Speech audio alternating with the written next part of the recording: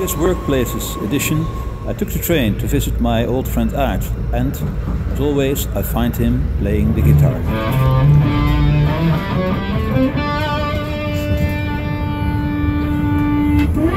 This this is the place where uh, everything happens, so to say, and uh, yeah, it's a nice hobby place where I combine electronics with the music for uh, designing all kinds of gadgets for my uh, electric guitar, amps, effect pedals. You make your own guitars.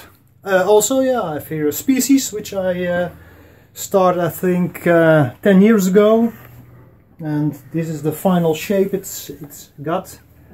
After a lot of redesigns, uh, copy of an existing model.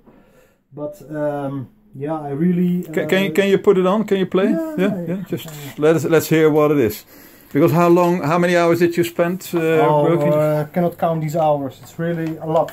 Yeah. Hundreds of hours uh, spent on it. Okay, well, let's hear it.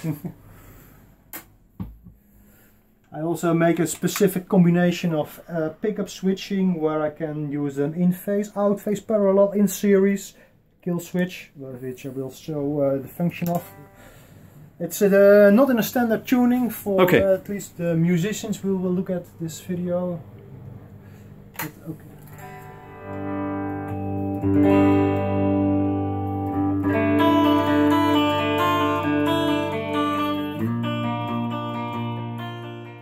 Can you remember your first uh, project in electronics? What, what, what was that? Um, Yeah, I can tell something how it's all started off. Um, it, I have pictures in my um, parents' uh, photo album where I'm playing with all old electrical sockets with um, wire, where I connect everything on a, some Okay, board. okay. At the age of four, Age, age of four. age of four so- already, yeah. Then it's it's in the genes, so to say.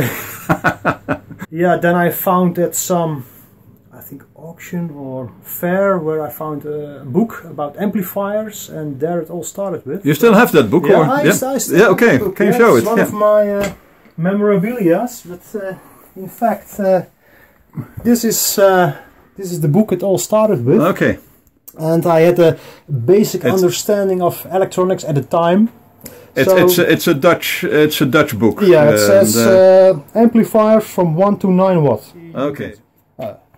It says a heavy stereo amplifier. And it So- was and it was. and it was, well, it was at the time it was heavy because it was 2 times 70 watt, okay. which was in the beginning of the 80s.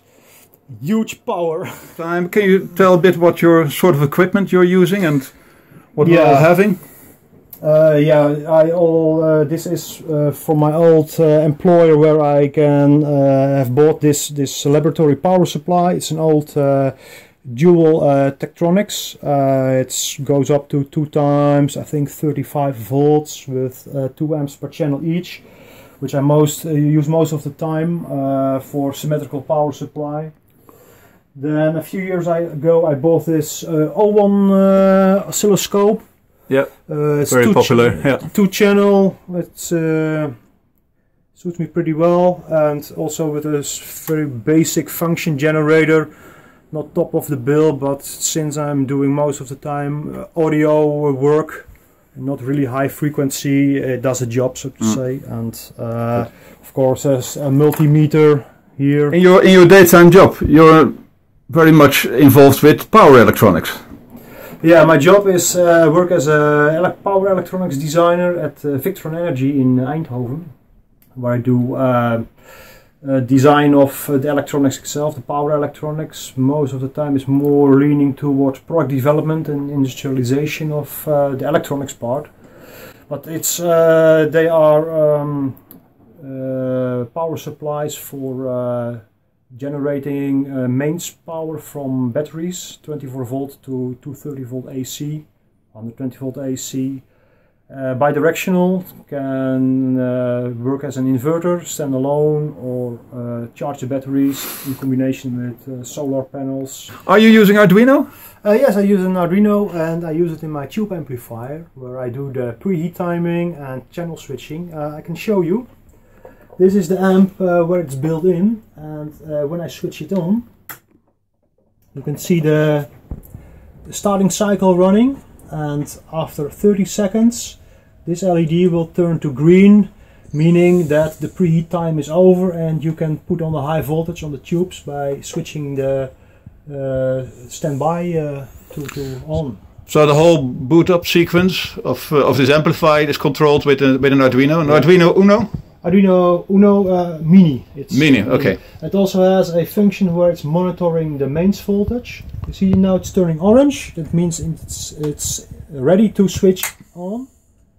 And you can hear it humming and uh, it's now operating and it also monitors the uh, mains voltage because mains voltage can be quite critical for tube amps with respect to uh, tube heating.